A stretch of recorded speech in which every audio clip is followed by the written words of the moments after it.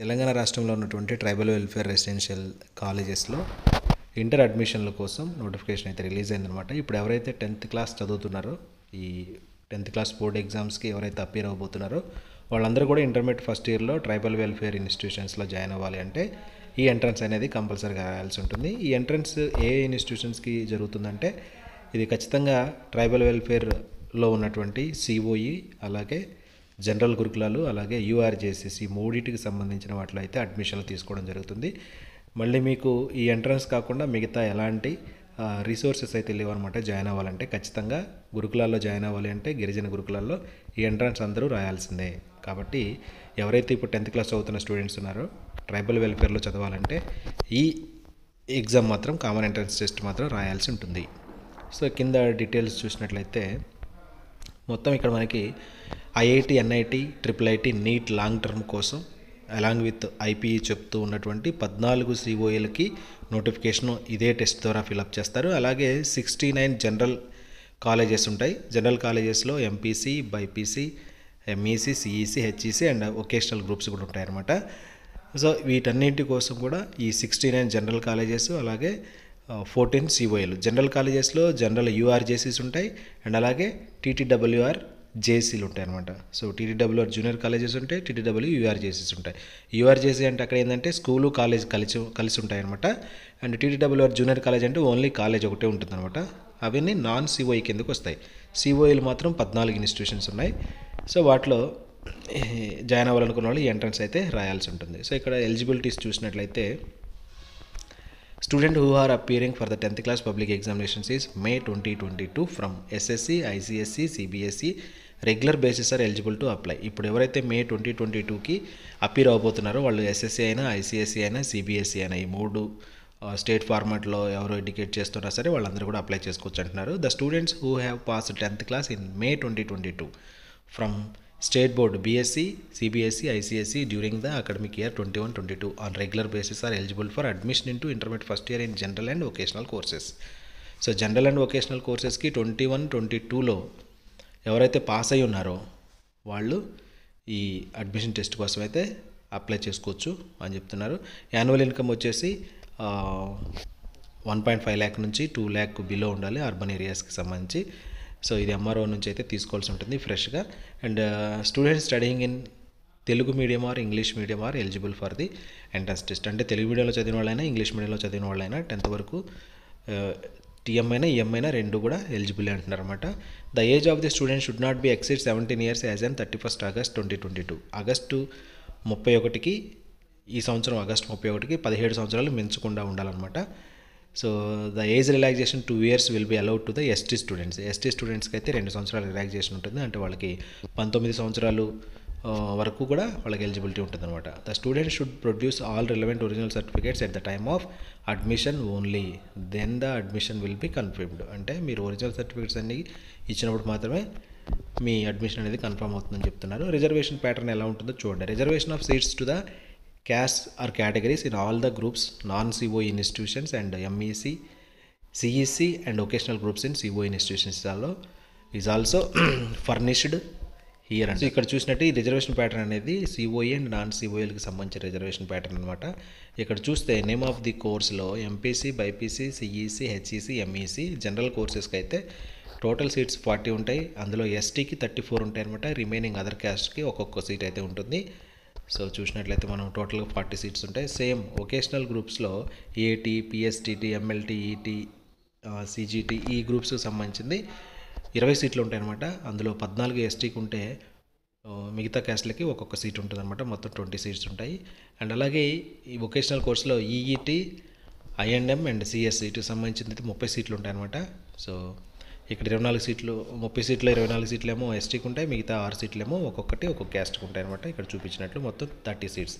All the seats in science groups MPC and BiPC of all CO institutions are reserved to ST candidates as per the state population so all the seats in science groups MPC BiPC of all CO institutions అన్ని COE ఇన్స్టిట్యూషన్స్లో MPC బైపీసీలో మాత్రం ST క్యాండిడేట్స్తోనే fill చేయడం జరుగుతుందని చెప్తున్నారు. So Samsung strength వచ్చేసి fifty అందులో క్యాస్ట్ వైజ్గా ఎలా ఉంటాయి చూడండి. సో కోలం అయితే కోయ అయితే అండ్ పార్దన్ అయితే ఎరుకలు అయితే లంబాడి అయితే లంబాడికి ఇక్కడ ఫార్టీ త్రీ సీట్స్ ఉన్నాయన్నమాట. అదర్ సబ్ క్యాస్ట్కి ఒకటి ఉన్నాయి. సో ఇవన్నీ కలిపితే ఫిఫ్టీ సీట్స్ అనమాట అండ్ ఇట్లా ఈ విధంగా డిఫరెంట్ కేటగిరీస్లో సీట్స్ అయితే అలాట్ చేయడం జరుగుతుంది. ఓకేనా? అంటే ఫార్టీ ఫైవ్ సీట్స్ ఉన్న దగ్గర థర్టీ ఎయిట్ లంబాడీకి ఉంటాయి ఫార్టీ సీట్స్ ఉన్న దగ్గర థర్టీ త్రీ లంబాడీకి ఉంటాయి అండ్ ఫిఫ్టీ సీట్స్ ఉన్న దగ్గర ఫార్టీ త్రీ లంబాడీకి ఉంటాయి అనమాట ఈ విధంగా సీట్స్ అయితే ఫిల్అప్ చేయడం జరుగుతుంది. So పిహెచ్సికి two point five percent overall seats shall be reserved of the physical handicapped. అన్ని సీట్లలో టూ పాయింట్ ఫైవ్ పర్సెంటేజ్ అనేది పిహెచ్సికి అయితే తీస్తారు ముందే. అండ్ స్పోర్ట్స్ కోటా కూడా కొన్ని రిజర్వేషన్స్ ఉంటాయన్నమాట. ఎలాంటి స్పోర్ట్స్ ఉన్నాయి కూడా చూడండి. నేషనల్ లెవెల్ కానీ జోనల్ లెవెల్ కానీ డిస్ట్రిక్ట్ లెవెల్ కానీ మండల్ లెవెల్ కానీ అండ్ ఇంటర్నేషనల్ లెవెల్ ఇలాంటి ఏమైనా సర్టిఫికెట్స్ ఉంటే మీరైతే అప్లై చేసుకోవచ్చు అనమాట సో ఇవి రిజర్వేషన్ ప్యాటర్న్ వచ్చేసి తర్వాత అప్లికేషన్ ప్రొసీజర్ చూస్తే the applicant must submit his application through online by visiting website. ఇక్కడ వెబ్సైట్ అడ్రస్ ఇచ్చాడు. వెబ్సైట్ మీద క్లిక్ చేసి వెబ్సైట్ అడ్రస్ మీద క్లిక్ చేసి మీరు ఒకసారి మీ అప్లికేషన్ డీటెయిల్స్ అన్ని అప్లికేషన్లో ఫిల్అప్ చేసినట్లయితే సరిపోతుంది. సో ఇక్కడ before filling up the application through online the candidates have to read the information prospectus. So మీరు ఒకసారి అన్ని తర్వాత చెక్ చేసుకొని అయితే అప్లోడ్ చేయమంటున్నాడు. సో ఇక్కడ ఏముండాలంటే ఫోటో అండ్ సిగ్నేచర్ కూడా ఉండాలి హండ్రెడ్ కేబీ బిల్లో ఉండాలి. సో మీరు అక్కడ అప్లై చేస్తుంటే తెలిసిపోతుంది మీరు ఫోన్ మొబైల్ ద్వారా నుంచి అప్లై చేయొచ్చు లేదా మీ సేవకి వెళ్ళైనా కూడా అప్లై చేయొచ్చు అనమాట so the candidates can choose both general and vocational colleges the group college preferences should clearly be noted selected in the application so apply చేసేటప్పుడే మీరు కాలేజీ అలాగే గ్రూప్ ఆ కాలేజీలో కావాల్సిన గ్రూప్ని మీరు జనరల్లోని క్లిక్ చేయొచ్చు వొకేషనల్ కూడా క్లిక్ చేసుకోవచ్చు అనమాట ఒకటి రాకపోతే ఇంకోటని. సో ఇక్కడ the option once exercise is final and cannot be changed. So option ఒకసారి ఇచ్చినప్పుడు అదే ఇక ఫైనల్ ఆప్షన్ అనమాట మళ్ళీ చేంజ్ చేసుకోవడానికి అయితే ఛాన్స్ లేదంటున్నారు. సో మీరు అప్లై చేసుకునే ముందే ఆ కాలేజీకి సంబంధించినటువంటి చూసుకోండి ఆ కాలేజీకి సంబంధించిన డీటెయిల్స్ అన్నీ తెలుసుకొని ఉంటే బెటర్. ఓకేనా? సో నెక్స్ట్ అడ్మిషన్ క్రైటీరియా ఎలా జరుగుతుంది? అడ్మిషన్ క్రైటీరియా ఎలా ఉంటుందంటే candidates appearing for tenth class public examination according academic year twenty one twenty two or regular basis are eligible to register their names in the entrance examination filling up the online application available in the గ్రూప్లో so ఇక్కడ application fee వచ్చేసి hundred rupees ఉంటుంది. అదే registration fee అనమాట the selection will be made on the basis of marks obtained by the candidates in the entrance test and the option exercised by the students at the time of registration ఓకేనా? So మీరు మీకు వచ్చినటువంటి entrance వచ్చినటువంటి మార్కులు బట్టి మాత్రం మీకు seat ఇవ్వడం జరుగుతుంది. సో ఎంట్రన్స్ టెస్ట్లో మెరిట్ ఒకటే చూస్తారనమాట the highest scorer toppers of the entrance test will be however be allotted in the following prestigious colleges of Gurukulam irrespective of the district they belong to అంటే ఈ ఎవరైతే highest score చేశారో common entrance టెస్ట్లో వాళ్ళని ఆ జిల్లాకు సంబంధించిన వాళ్ళు కాకపోయినా అంటే కింద నాలుగు కాలేజెస్లో అయితే ఫస్ట్ ఫిల్అప్ చేస్తూ ఉంటున్నారు. ఆ నాలుగు కాలేజెస్ ఏంటంటే అందులో ఫస్ట్ ఏంటంటే రాజేంద్ర నగర్లో ఉన్నటువంటి IIT study set study centre అనమాట సో అక్కడ ఎంపీసీకి ఫిఫ్టీ సీట్స్ ఉంటాయి బైపీసీకి ఫార్టీ సీట్స్ ఉంటాయి. సేమ్ ఖమ్మంలో ఉన్నటువంటి TTWR SY boys Khammam. So ఇక్కడ కూడా ఎంపీసీ నలభై బైపీసీ నలభై ఐదు ఉంటాయి.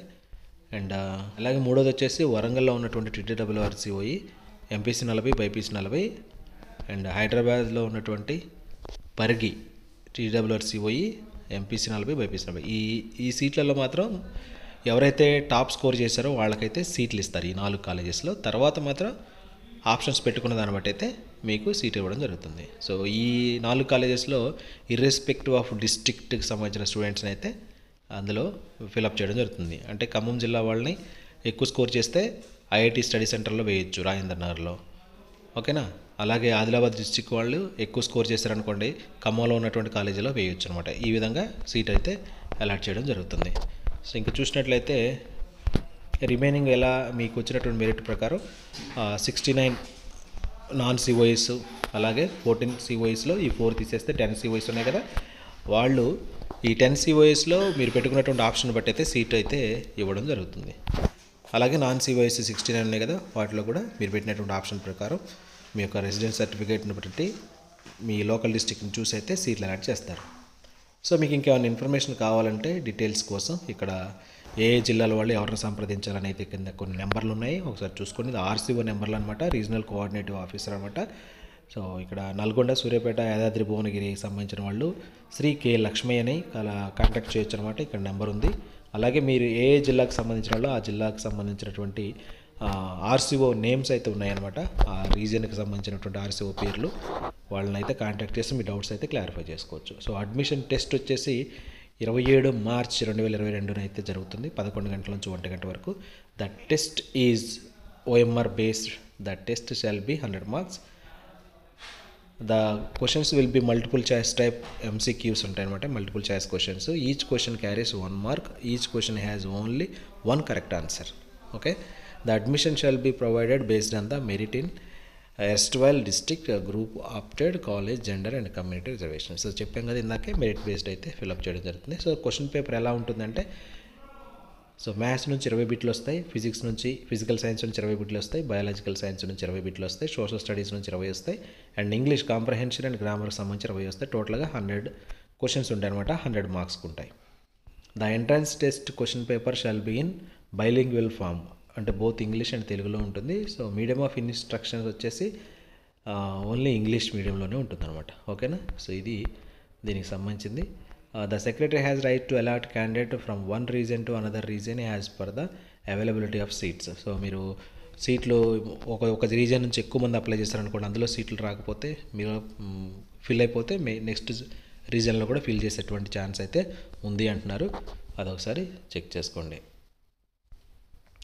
అండ్ ఇక్కడ చూసినట్లయితే ఏ కాలేజెస్లో ఎన్ని సీట్లు ఉన్నాయనైతే ఇక్కడ లిస్ట్ ఉంది. ఇక్కడ లిస్ట్ ఆఫ్ ది మనకి total sixty nine non COE fourteen COE మొత్తం కలిపి ఎంత? ఎయిటీ త్రీ ఇన్స్టిట్యూషన్స్ అనమాట ఎయిటీ త్రీ ఇన్స్టిట్యూషన్స్లో ఏ గ్రూప్కి ఎన్ని సీట్లు ఉన్నాయనేది ఇక్కడ ఉన్నాయన్నమాట. మీ జిల్లాల్లో ఉన్నటువంటి ఇన్స్టిట్యూషన్స్ ఏమైనా ఉంటే ఒకసారి చెక్ చేసుకోండి. నేను ఇక్కడ స్క్రోల్ డౌన్ చేస్తానమాట సో ఖమ్మం డిస్టిక్లో ఖమ్మం భద్రాద్రికి సంబంధించిన వాటిలో అయితే మీకు ఓవరాల్గా నాలుగు ఇన్స్టిట్యూషన్స్ ఉన్నాయన్నమాట.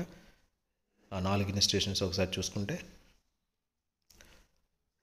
చూడండి ఒకసారి ఖమ్మంలో ఖమ్మం ఒకటి ఉంది అండ్ అలాగే భద్రాచలం ఒకటి ఉంది సిఓఈ అనమాట కేఎస్డి సైట్ ఒకటి ఉంది అండ్ అలాగే దమ్మపేట ఒకటి ఉంది నాలుగు కూడా ఖమ్మంలో ఉన్నటువంటి సిఓఈలు సో మిగతాన్ని మనకి పద్నాలుగు ఏమో సిఓఈలు ఉంటాయి.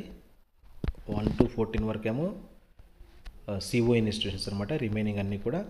జనరల్ కాలేజెస్ అలాగే యూఆర్జేసెస్ అనమాట ఇవన్నీ కూడా మీరు చూసుకోండి.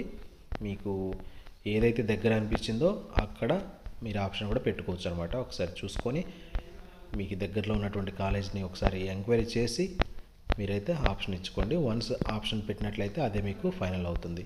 సో ఇంకా ఖమ్మంలో జనరల్ చూసినట్లయితే మీరు ఇక్కడ యాభై తొమ్మిది సీరియల్ నెంబర్ నుంచి అరవై ఎనిమిది ఉన్నాయి చూడండి. టోటల్గా పది కాలేజెస్లు ఉన్నాయన్నమాట ఈ పది చూసినట్లయితే యూఆర్జేసీసే ఉన్నాయి.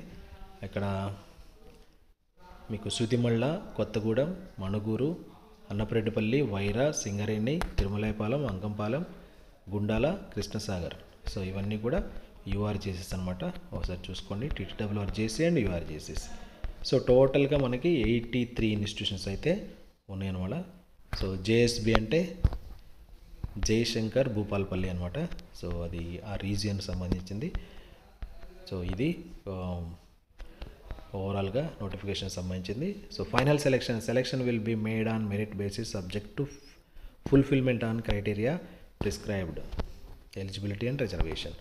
The candidates who have passed through in one attempt tenth class public examination May twenty twenty from SSC CBSE ICSE. So రెగ్యులర్గా పాస్ అయిన స్టూడెంట్స్ మాత్రమే ఎలిజిబుల్ అవుతారు అని చెప్పేసి అంటున్నారన్నమాట. సో ఇక అదర్ ఇన్ఫర్మేషన్ ఎగ్జామ్ రాసేటప్పుడు తీసుకోవాల్సిన జాగ్రత్తలు అనమాట ఇవి. మీరైతే ఎగ్జామ్ రాసేటప్పుడు రెడ్ పెన్ అయితే వాడకూడదు బ్లూ కానీ బ్లాక్ పెన్ కానీ వాడాలి బబులింగ్ చేయడం కోసం. మిగతా ఏ పెన్ వాడినా సరే ఇన్కరెక్ట్గా తీసుకుంటుంది. సో జనరల్గా ఎగ్జామ్కి వెళ్ళేటప్పుడు తీసుకోవాల్సిన జాగ్రత్తలు అనమాట ఇవన్నీ కూడా. సో మీరు అప్లై చేసుకునేటప్పుడు మొబైల్ నెంబర్ కరెక్ట్గా ఇవ్వండి. దానికి అన్ని డీటెయిల్స్ వస్తూ ఉంటాయి అనమాట ఎస్ఎంఎస్ అలర్ట్స్. మీకు ఇంకేమైనా డౌట్స్ ఉంటే కింద ఇక్కడ కాంటాక్ట్ నెంబర్ కూడా ఇచ్చారు హెల్ప్ లైన్ నెంబర్ ఆ హెల్ప్ లైన్ నెంబర్కి అయితే చూసుకోండి. సో లాస్ట్ డేట్ ఎప్పుడంటే ఫిబ్రవరి ఇరవై ఏడో తారీఖు అయితే లాస్ట్ డేట్ ఉంది. హాల్ టికెట్స్ ఎప్పుడు డౌన్లోడ్ చేసుకోవాలంటే మార్చి పదిహేనో తారీఖు నుంచి అయితే హాల్ టికెట్ డౌన్లోడ్ చేసుకోవచ్చు. సో ఇదన్నమాట కంప్లీట్ నోటిఫికేషన్. ఇంకా డీటెయిల్స్ కావాలంటే కింద కామెంట్ సెక్షన్లో అడగండి. నేను దీనికి సంబంధించినటువంటి లేటెస్ట్ అప్డేట్స్ అన్నీ కూడా నేను మన ఛానల్లో ప్రొవైడ్ చేస్తూ ఉంటాను. ఎవరైతే టెన్త్ క్లాస్ చదువుతున్నారో ఆ స్టూడెంట్స్ అందరూ కూడా మన ఛానల్ని సబ్స్క్రైబ్ చేసుకోండి. మరిన్ని లేటెస్ట్ అప్డేట్స్ కోసం అయితే మీరు బెల్ ఐకాన్ ట్యాప్ చేసుకొని ఆల్ అనేటువంటి నోటిఫికేషన్ అయితే పెట్టుకోండి. మీరు డెఫినెట్గా నేను వీడియో అప్లోడ్ చేయగానే మీకు నోటిఫికేషన్ వస్తుంది. మీరు చెక్ చేసుకోవచ్చు అనమాట ఏమన్నా ఇంకా పర్సనల్గా కాంటాక్ట్ చేయాలంటే మాత్రం కింద కామెంట్ చేయండి. నేను మీకైతే డీటెయిల్స్ అన్నీ ప్రొవైడ్ చేస్తాను. థ్యాంక్ యూ థ్యాంక్ యూ అనండాలి మీరు టెన్త్ క్లాస్ చదువుతున్న ఫ్రెండ్స్ ఎవరైనా ఉంటే మీ టెన్త్ క్లాస్ గ్రూప్లో అయితే ఈ వీడియోని అయితే పోస్ట్ చేయండి. వాళ్ళు కూడా ఉపయోగపడుతుంది. ఇంకేమైనా డౌట్స్ ఉంటే డెఫినెట్గా నేను క్లారిఫై చేస్తాను. Thank you thank you అనండాలి